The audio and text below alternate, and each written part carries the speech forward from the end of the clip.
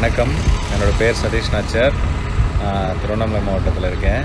திருவண்ணாமலையில் பிரபலமாக பேசப்பட்ட மூக்குப்பொடி சித்தர். மேக்ஸிமம் எல்லாருக்கும் தெரிஞ்சிருக்கும். தெரியாதவங்க என்னோடய அனுபவத்தை வந்து நான் சொல்கிறேன் தெரிஞ்சுக்கோங்க.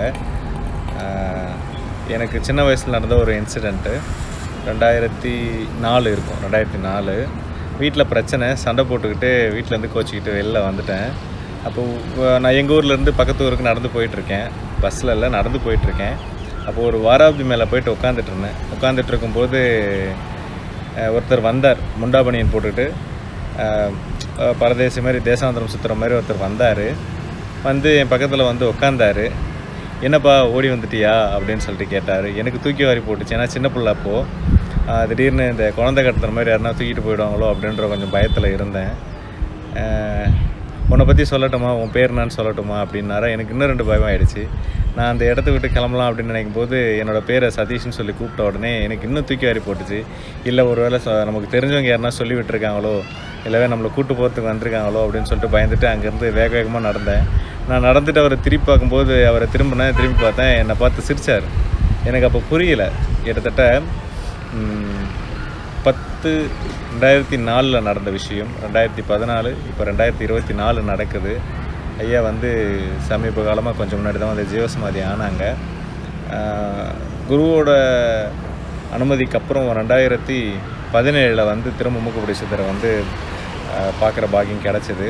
அப்போது நம்மளோட குருக்கிட்ட கேட்கும்போது அப்படி தான்ப்பா அது. உன்னை சின்ன வயசுலேயே வந்து உன்னை பார்த்து உன்கிட்ட பேசினது அவர் தான் நீ போயிட்டு அவர்கிட்ட ஆசீர்வாதம் வாங்கிக்கோ அப்படின்னு சொல்லிட்டு சொன்னார். நீ எங்கள் ஆசீர்வாதம் வாங்க போகும்போது ஒரு சில விஷயங்கள் நடக்கும். அதை உன்னோட வச்சுக்கோ. அதுதான் வந்து அவர் உன்னை அங்கீகரிச்சிட்டாரு. திரும்ப அவர் உன்னை பார்த்துட்டாரு அப்படின்றதுக்கானது அப்படின்னு சொன்னாங்க. நான் போனேன். இரவுல பாதையில் மலை சுற்றுற இடத்துல வந்து பெரிய ஆஞ்சநேயர் கோவில் ஒன்று இருக்குது அங்கே போகும்போது ஐயா வந்து படுத்துட்டு இருந்தாங்க. மேலே வந்து வேஷ்டி போட்டு. நம்ம அங்கே போய் நின்னோம். நின்ன உடனே வந்து எழுந்து தலையை தூக்கி பார்த்தாங்க. தூக்கி பார்த்துட்டு திரும்ப வந்து படுத்துட்டாங்க.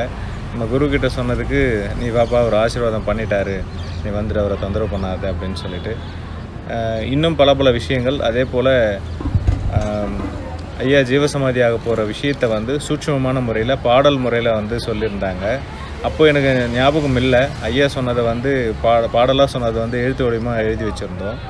ஐயா ஜீவசமாதி ஆனதுக்கு அப்புறமா வந்து ஒரு நாள் ஞாபகம் வந்து அந்த பாடலை எடுத்து அதை தெரிந்த ஒருத்தர்கிட்ட கொடுத்து வந்து சித்தர் வழிபாட்டில் இருக்கவர். அவர்கிட்ட கொடுத்து அதுக்கான விளக்கத்தை கேட்கும்போது ஐயா ஜீவசமாதி ஆக போகிற விஷயத்தை தான் அந்த பாடல் சொல்லியிருக்காங்க அப்படின்னு சொல்லிட்டு அந்த விஷயங்களை வந்து சொல்லியிருந்தாங்க. அதுக்கப்புறம் பார்த்தீங்கன்னா ஒரு தடவை வெளியூர் பிரயாணம் போகும்போது அவரோட இருப்பை உணர்ந்தேன். எப்படின்னா வந்து சொல்கிறேன் ஈரோடு பஸ் ஸ்டாண்டில் போயிட்டு நின்றுட்டேன். வெளியூர் போகிறதுக்காக ஈரோடு பஸ் ஸ்டாண்டு போய் நின்றுட்டுருக்கேன். எங்கள் பஸ் வரல. நான் போக வேண்டிய இடத்துக்கு. அப்போது திடீர்னு என்னை சுற்றி கம கம கமன்னு சொல்லிட்டு மூக்குப்பொடி வாசனை ஆளை தூக்குற அளவுக்கு மூக்குப்பொடி வாசனை அந்த அளவுக்கு வந்துச்சு. ஆனால் என்னை சுற்றி யாருமே இல்லை. நான் நின்றுட்டுருக்கேன் ஒரு பத்தடி தள்ளி ஒரு ரெண்டு பேர் நின்றுட்டுருக்காங்க பஸ் ஏறுறதுக்கு அப்போது ஒன்றும் புரியல. சரி என்னவா இருக்கும்ட்டு தெரியலையே அப்படின்னு சொல்லிட்டு கொஞ்சம் குழப்பத்திலே இருந்து அதுக்கப்புறம் நம்மளோட குருவாண்ட கேட்கும்போது அவர் தான்ப்பா வந்திருக்காரு. நீ என்ன பண்ணுற அப்படின்றத பார்க்கணுன்றதுக்காக வந்தார் அவர். அவரோட ப்ரெசன்ஸ் வந்து எப்பவுமே உன்னால் உணர முடியும் அப்படின்ற ஒரு விஷயத்தையும் சொன்னாங்க. என்ன சொல்கிறது மகான்கள் வந்து நாம தான் தேடி போகிறோம் தேடி போகிறோம்னு நினச்சிட்டு இருக்காங்க. நாம் தேடி போகல அவங்க தான் நம்மளை தேடி வந்துட்டுருக்காங்க எந்த ஒரு மகானை பார்த்தாலும் நீங்கள் வந்து ஆத்மார்த்தமாக மனசார வந்து நீங்கள் வேண்டிக்கோங்க. அவங்க கிட்ட தான் போகணும் அவங்கள தொட்டு பார்க்கணும் ஆசீர்வாதம் வாங்கணும் அப்படின்னு சொல்லிட்டு என்றைக்குமே வந்து அந்த ஒரு ஆசையை வச்சுக்காதீங்க. இங்கேருந்து ஒரு நாற்பது அடி ஐம்பது அடியில் கூட இருக்கட்டும். ஐயா இந்த மாதிரி உங்கள் ஆசீர்வாதம் எனக்கு வேணும். எந்த தப்பு நான் பண்ணியிருந்தாலே நான் மன்னிச்சு என்னை ஏற்றுக்கோங்க உங்களோட ஆசீர்வாதம் எங்களுக்கு தேவை. நான் நல்லபடியாக நிம்மதியான வாழ்க்கையை வாழணும் அப்படின்னு சொல்லிட்டு மனசார நீங்கள் வேண்டி பாருங்கள் உங்களுக்கு மாற்றங்கள் எப்படி நடக்குது அப்படின்றது தெரியும். இன்னொரு பதிவில் வந்து இது போல் இன்னொரு ஆச்சரியத்தை நிகழ்த்தே ஒருத்தரை பற்றி பார்க்கலாம். நன்றி. வணக்கம்.